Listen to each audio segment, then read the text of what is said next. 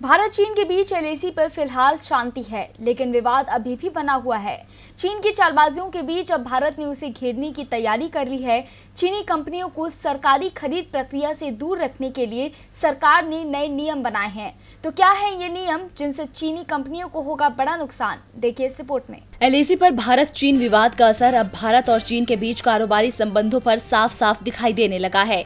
भारत ने सबसे पहले चीनी कंपनियों पर लगाम लगाने की कोशिश की और केंद्र सरकार ने जनरल फाइनेंशियल रूल्स 2017 में संशोधन किया है। इस संशोधन के बाद जिन देशों की सीमाएँ भारत से लगती हैं, वहाँ की कंपनियों को भारत में सीधा निवेश करने से रोक दिया गया। भारत के पड़ोसी देशों से एफडीआई के लिए सरकार की अनुमति ज़रूरी कर दी गई। ये नियम चीन को देखते हुए ही बनाया गया था। चीन से संबंध और खराब हुए तो सरकार ने कई चीनी ऐप बैन कर दिए और अब सरकार ने चीनी कंपनियों को सरकारी खरीद प्रक्रिया से दूर करने की तैयारी कर ली है।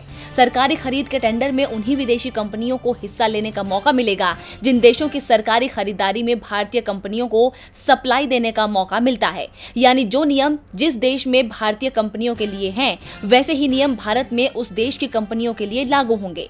चीन में भारतीय कंपनियों पर सरकारी खरीद में सीधे शामिल होने की अनुमति नहीं है। इसलिए ज़ाहिर सी बात है कि चीनी कंपनियों को भी अब भारत में इस तरह के सौदे में शामिल होने की अनुमति नहीं होगी।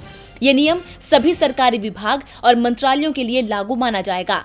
डीपीआईआईटी की तरफ़ से बताया गया है कि भारतीय कंपनियों को सरकारी खरीद में हिस्सा लेने से रोकने वाले देश की कंपनियाँ सिर्फ़ उन्हीं आइटम की सरकारी खरीद में हिस्सा ले सकेंगी जिनकी सूची सरकार प्रकाशित करेगी। यानी साफ़ है कि सरकार अब चीनी कंपनियों पर पूरी तरह से लगाम लगाने की तैयारी में है। डीबी लाइव की रिपोर्ट।